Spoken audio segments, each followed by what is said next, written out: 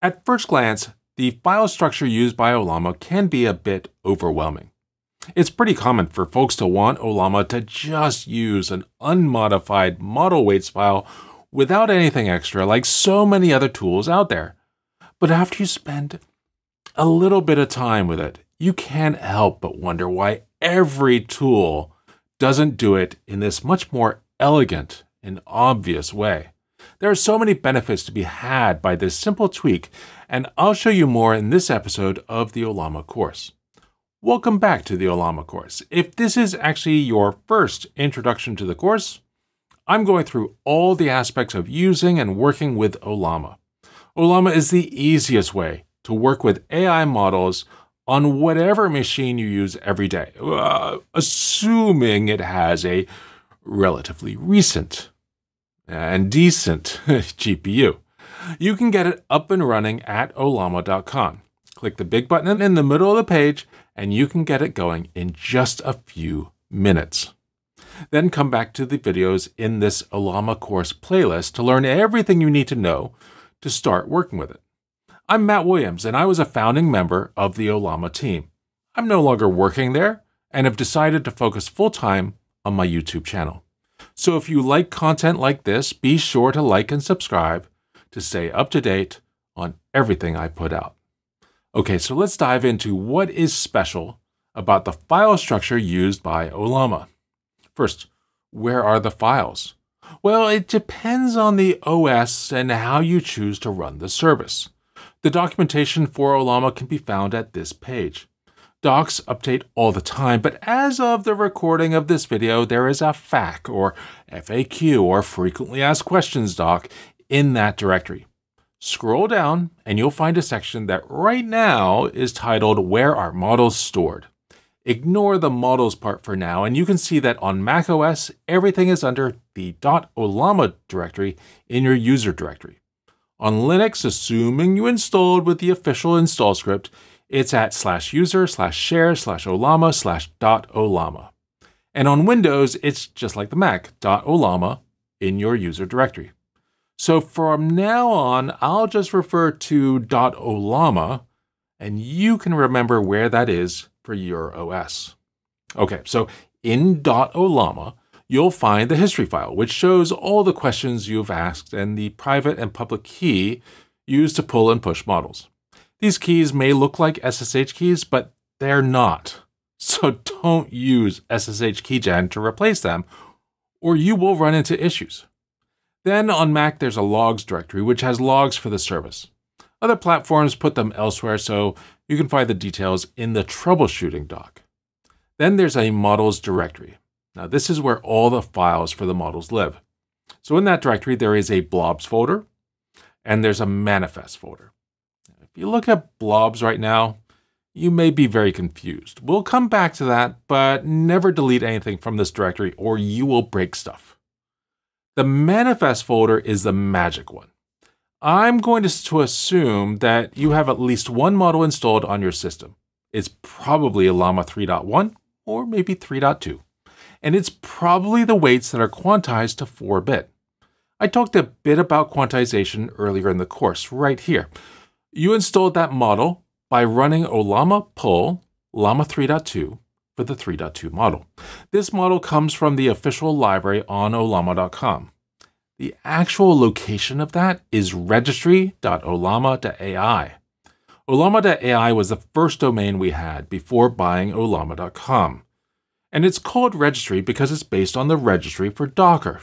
In fact, it was created by the same guy who I think created and definitely ran Docker Hub for a long time. In that directory, you'll find library. And in there, you'll find a folder for Llama 3.2 and every other model you've ever pulled from the library. Now, if you only pulled Llama 3.2 without specifying any tags, you'll have a file called latest in here. This is a terrible name because it has nothing to do with being the latest. It's just the word chosen for the default size. I've also pulled llama 3.2 colon 1b and llama 3.2 colon 3b, and so I have those files listed here. Now, I'll list out the contents of latest using the cat command. It's a bit hard to read, so I'll pipe that to JQ, which is a way to pretty print JSON. Up at the top of this file is a block that describes the file. It's not all that important to understand, but no, this is not just Docker. The important stuff is in layers. For each layer, there's a media type, a digest, and a size. The media type is just a standard way to describe each layer. The first one says model, and this is the source GGUF file that is the model weights. Digest lists the SHA-256 hash of the file. SHA, S-H-A, stands for Secure Hash Algorithm. And that was designed by the US NSA to be a simple way to understand if a file has been modified in any way since the hash was generated. It's usually used with digital signatures and password hashing. But here it's used to help Ollama see if the files it already has downloaded includes this file that needed for this model. If the file only went by its original file name, there wouldn't be an easy way to tell. This particular model has layers for the model weights, the template, two license files, and the parameters for the model. So let's consider the template. For this model, the template has this SHA-256 hash.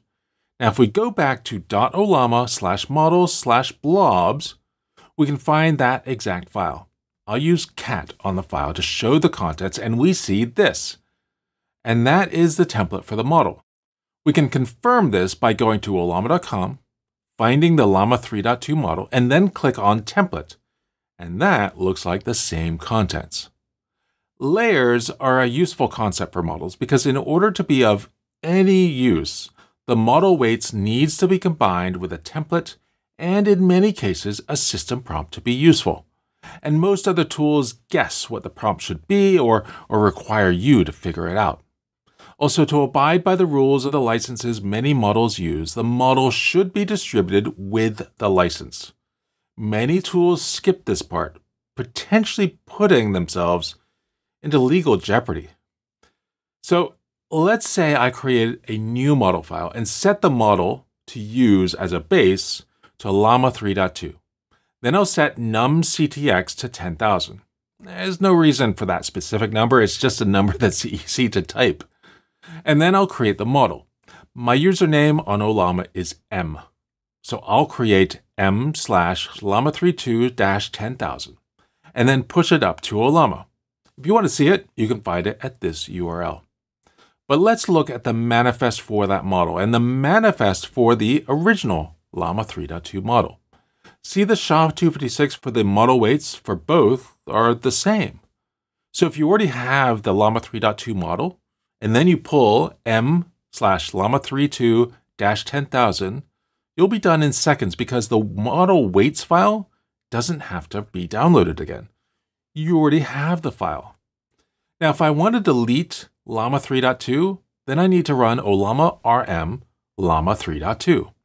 But look at the blob files, and we'll see that the weights for that model are still on my system because llama 32-10000 is using it. It's not until all models that use any blob are gone that that blob will finally get deleted. But if you had gone into the blobs directory and just willy-nilly deleted that file, then you potentially mess up one, two, or maybe many other models that use the same weights file. The next time you restart Ollama, all those orphan models will be cleaned up. But if you need to use any of them, you'll have to re-download the larger file again depending on your actions, you might get a cryptic error before that happens. Now, if you did want to use one of the model weights files in another tool, it's totally possible, but not really a use case Ollama was designed for. You could figure out the blob file to use, then copy that file to a new directory, calling it whatever you want. It's still the same GGUF file format. There are a number of other tools out there that will do this for you. One of my favorites is called GoLlama, and it's a simple CLI tool to sync models to any location you want with a friendlier name. I have a video about that tool that I made a few months back. Check it out to learn more, but I'm sure the author has added a bunch of new features since then. And that is pretty much everything you need to know about how the files are stored that Ollama uses. As you can see, it's not all that hard to understand, and once you do, it becomes obvious why it's like that and how every other project just gets this wrong. It really is one of the key reasons Ollama really is magical.